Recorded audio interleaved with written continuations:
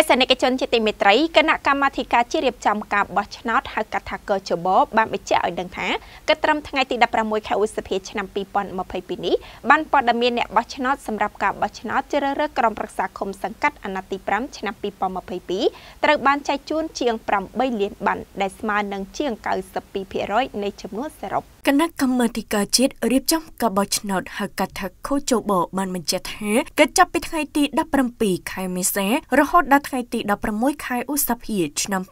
2022ខ្លួនបានផ្ដល់បានព័ត៌មានអ្នកបោះឆ្នោតសម្រាប់ការបោះឆ្នោតជ្រើសរើសក្រុមប្រឹក្សាឃុំសង្កាត់អាណត្តិទី5ឆ្នាំ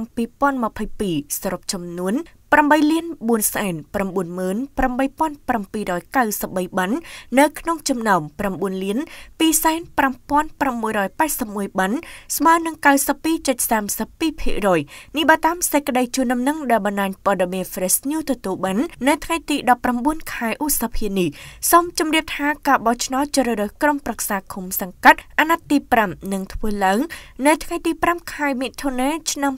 2022ខាងមុខនេះដែលមានគណៈបកនយោបាយចំនួន17បានចូលរួមប្រកួតប្រជែងក្នុងការបោះឆ្នោត